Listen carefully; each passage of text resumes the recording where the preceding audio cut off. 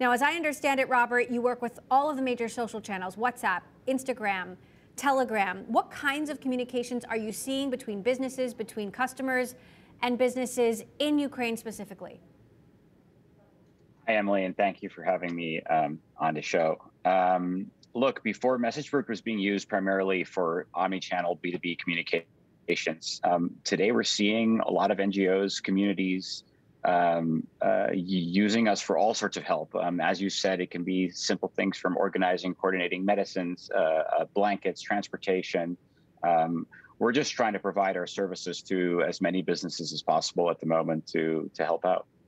So what does that mean? How are you supporting these businesses who have these flood, this flood of requests at this time?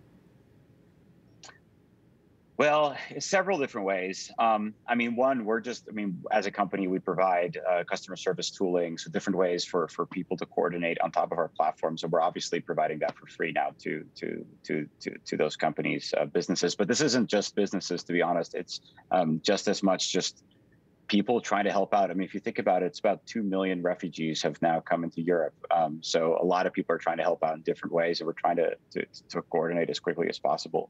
Um, at the same time, we, we launched our own fund um, uh, to help out. So our employees are helping out. Um, I'm trying to organize other tech founders to come together, and, and all of us use our uh, knowledge companies um, um, to, to try to lend a hand in this terrible situation. So this $10 million NGO fund that you mentioned, what's your hope about how this will help?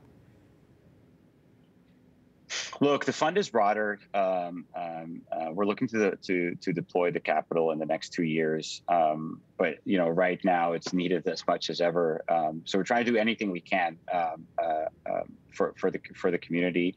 I think more broadly.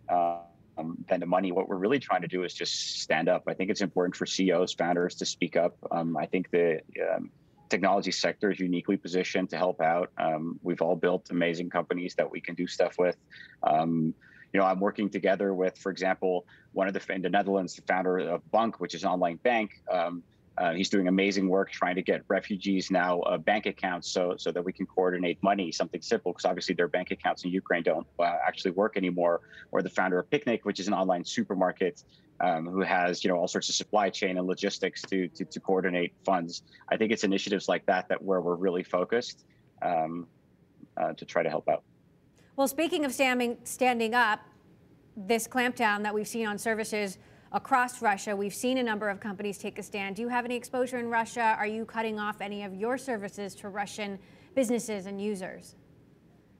Yeah, we have um, uh, pretty much immediately. Uh, um, look, I'll be honest. It's it's four percent of our revenues, so it's it's you know it's uh, uh we're a five hundred million dollar company. It's significant, but it's not um, it's it's not going to kill our uh, kill our business. Um, but I think anything that we can do um, globally to to say no um, and to stand for peace, I think is important. Um, obviously, I would say that the Russian people inside the country have absolutely nothing to do with this. Um, so it's sad for them too.